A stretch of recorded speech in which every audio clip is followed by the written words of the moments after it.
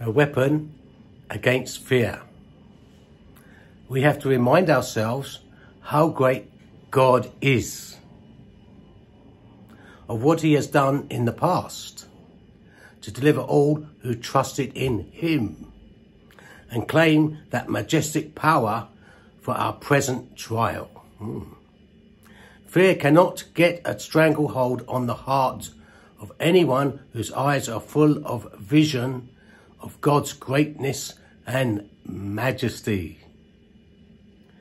Nehemiah understood this principle well. He paced back and forth on the walls of Jerusalem, while below him a weary remnant tried to rebuild the city. The Israelites were surrounded by fierce and adversaries, and fear was beginning to set in. The city walls were not finished.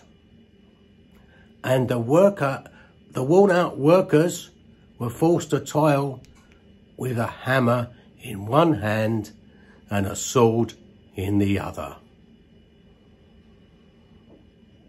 What was the answer to their fears? Nehemiah brought to their memory how awesome their God is. And I looked and arose and said to the nobles, to the leaders, and to the rest of the people, Do not be afraid of them. Remember the Lord, great and awesome, and fight. Nehemiah 4 and verse 14.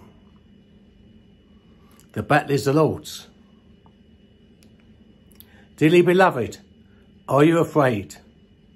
Has your problem shaken your confidence in the Lord? If so, remember how great your God is. Moses said to Israel, If you should say in your heart, These nations are greater than I, how can I dispossess them? You shall not be afraid of them, but you shall remember well that the Lord your God did to Pharaoh and to all Egypt. You shall not be terrified of them. For the Lord your God, the great and awesome God, is among you. That's Deuteronomy 7, 17, 18 and 21. He is praise.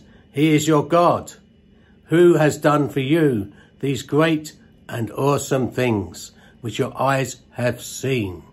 Deuteronomy 10, verse 21. God declares to us I am the Lord. I do not change. Malachi 3 and verse 6. Today, he is still seeking to show his greatness to all who appropriate his power.